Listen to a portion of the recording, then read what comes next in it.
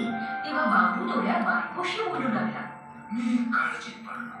मी प्रत्येकाला सांगितले की मला ही जंगलात सापडली आहे एकटी. आणि म्हणून करण्यासाठी घरी आणलं. आता ती वयात आली. लोक तिच्या सौंदर्याबद्दल बोलायला लागले. ठाऊके आपण तिला कायमचं या घरात ठेवू शकत नाही. दुसऱ्या दिवशी बांबू तोड्या आपल्या मुलीशी तिच्या लग्नाबद्दल बोलू लागला. त्याने तिला सांगितलं की एकाहून एक चांगल्या मुलांची